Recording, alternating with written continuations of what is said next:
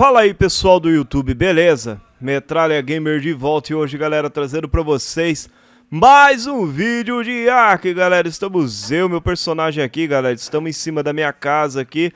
Aonde, cara? É o seguinte, velho. Ô louco, velho, que isso? Dá uma olhada aí, cara. É o seguinte, galera, estamos aqui com vários piteiros. Nossa, tô naquela câmera ainda, cara.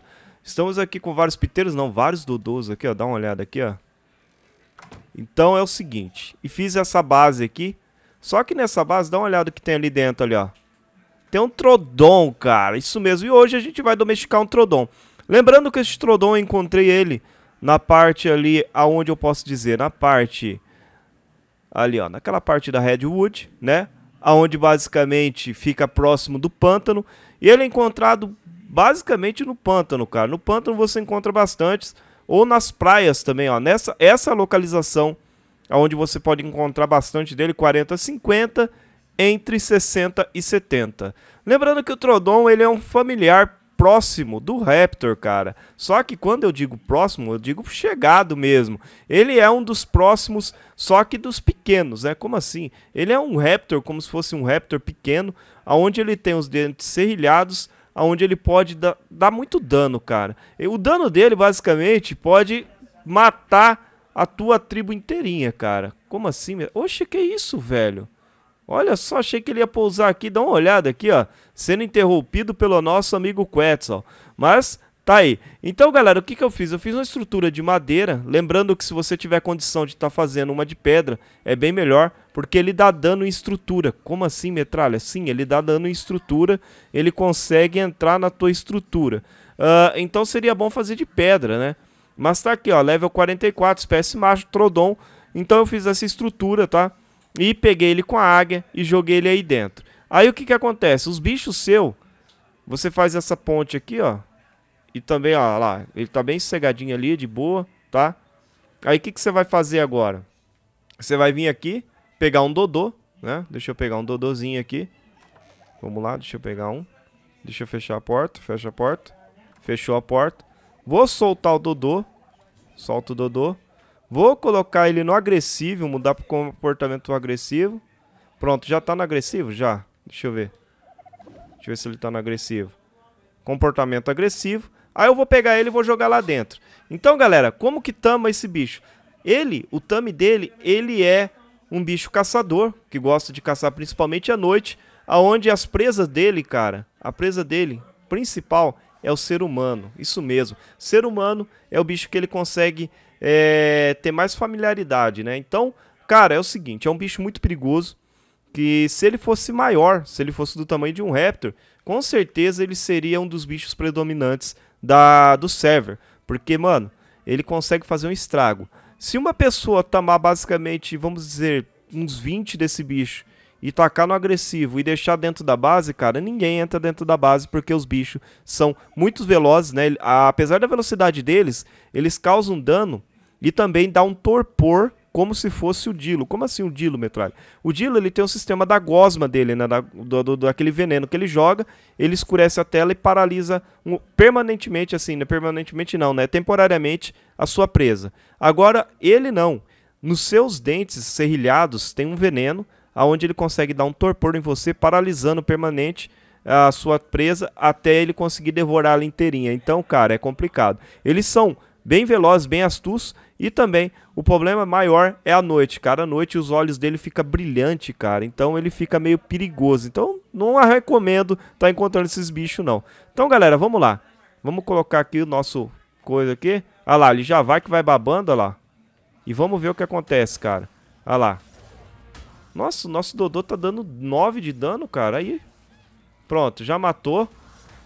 Olha lá, ele mata e come, cara. E dá uma olhada, ele começa... Olha, ele tá dando dano nas estruturas, velho. 16 de dano, cara. Então agora eu vou pegar mais um aqui. Fica aí. Vamos jogar mais um aqui. O, o Pedro Céu, cara, ele falou que se colocar... Vai, ataca, ataca. Caramba, velho. Olha o dano que ele dá, velho. Pronto. Foi mais um. Eu não sei quanto tempo tem que dar de intervalo, cara. Pra estar tá domesticando ele. Vamos lá. Deixa eu ver aqui. Opa. Fica aí. Deixa eu, deixa eu ver aqui. Deixa eu ver aqui. Mudar o comportamento para agressivo. E vamos lá, cara. Vamos jogar mais um aqui.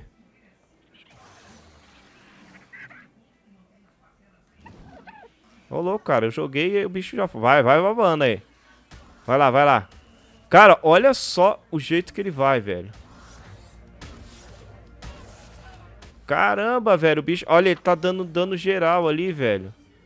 Olha, ele dá dano na estrutura, velho. Então por isso que eu falo pra vocês, é meio perigoso você estar fazendo isso.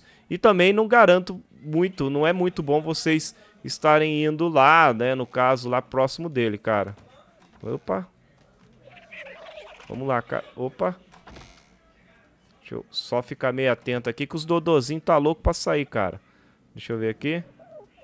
Comportamento para agressivo. Vou colocar no agressivo, galera, que o pessoal falou pra mim que é bom só no agressivo, cara. Vai lá, vai lá, vai lá, filho. Ataca, ataca. Aê! Vai, Joe, vai, Joe, vai, Joe. Caramba, velho, o bicho pega mesmo, olha lá. Ele mata mesmo. Caramba, velho, olha lá, ele tá dando dano na estrutura, cara. Chega até sair fumaça, mano. Então, galera, você tem que ir dando bicho pra ele. Depende do, da quantidade que tá a domesticação, depende muito da, do como que tá o sistema de tame.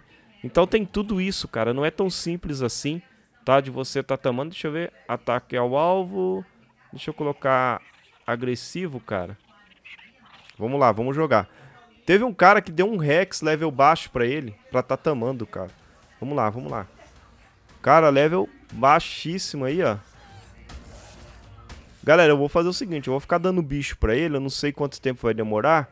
Eu vou ficar dando bicho pra ele a hora que tiver próximo de tamar, eu volto, cara, que senão... Senão o bicho vai pegar aqui, cara, senão eu não vou conseguir tamar ele agora. Vai, vai ficar um vídeo longo aí só de eu jogando Dodô aí, cara, não é não? Vocês não querem ver eu ficar jogando Dodô aí, né, mano? Deixa eu ver aqui, tá no agressivo, vamos pegar. Vamos lá, cara. Deixa eu ver aqui. Olha lá. Caramba, velho. O bicho... Ele é muito rápido, velho. Dá uma olhada. Basicamente é um bicho aí que a gente tem que trazer um bicho alto mesmo. Level alto, cara. Galera, voltei aqui, ó. cara, depois de tanto tempo... Depois de tempos aqui, cara, foi... Eu acho que uns... Cara, fiquei preso. Fiquei preso. Volta. Volta. Aí. Cara, demora demais. Sem brincadeira nenhuma, demora demais, velho. Aí o que que acontece? Deixa eu ver aqui. Que é isso aqui? Player. Account Player Tami, galera.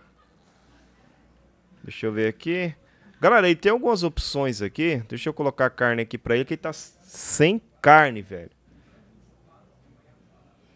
Tá sem carne aqui, deixa eu ver certinho aqui. Deixa eu adicionar um pouco mais de dano nele. Galera, é o seguinte. Como eu havia dito para vocês, está olhando aqui as presas dele, ó. Dente serrilhado.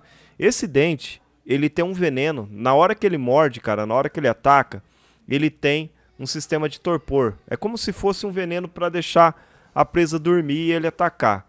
As penas dele, galera, as penas dele são muito duras, cara. Que dá uma proteção maior, né? E uma velocidade, ó. As garras dele faz com que ele suba em cima das presas, né, agarrando em cima das presas e conseguindo derrubar presas bem maiores do que ela e fazendo com que o bot seja fatal.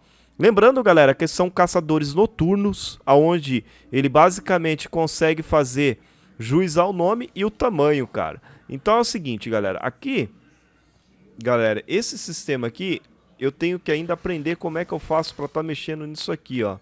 Que é esse negócio, a Conte Ranger no Conte Account Player Itami, Back, Account Wild Creature, cara. Eu não sei se é um sistema onde ele fica atrás da, da, da, criatura ou chega a encantar. Eu tenho que pegar um pouco mais de informação. Só que assim, o que eu pude passar para vocês, eu passei. Espero que vocês tenham gostado do vídeo. Lembrando que, se você tomar um bicho desse, lembre que o bicho maior é melhor. Falaram para mim dar umas parasauro para ele. Eu dei parasauro, eu dei dodô. Lembrando que, olha, ficou bem machucado. Eu dei um parasauro para ele. A parasauro quase, quase, quase matou ele. Foi o último bicho. E foi mais ou menos aqui uns 30 dodôs, cara. Pra mim tá tomando esse level 44. 30 É, eu acho que mais, cara. Porque eu fiquei aqui há muito tempo jogando Dodô, jogando Dodô, jogando Dodô e ele pegando. E, mano, se você for tamar ele num lugar aberto, mano, você não vai ter chance, cara. Você tem que conseguir prender ele num lugar assim, fazer o sisteminha aqui, ó, pra você subir, tá? Pra você não ter contato nenhum com ele, tá? Porque se você tiver qualquer contato com esse bicho, se você cair aqui dentro, meu amigo, tchau, fatal, você morre sem chance. Ele não vai dar prioridade em atacar a presa. Ele não vai dar prioridade em atacar, tipo o Dodô ou o bicho que você colocou. Ele vai dar prioridade em atacar você, cara. As presas principais dele é o ser humano. Então, galera, não deixe de fortalecer a gente com like. Eu tô tentando fazer o máximo que eu posso para vocês. Lembrando que o like sempre ajuda a gente na divulgação. Tamo junto, é nós. Valeu, Metal Gamer, com mais um vídeo para vocês. E, cara, dá uma olhada aqui nesse reflexo desse metal aqui, cara. Dá uma olhada aí atrás aí. Ah, mano. Tamando aí, ó, o Trodon. Espero que vocês tenham gostado, velho. Tamo junto, é nóis.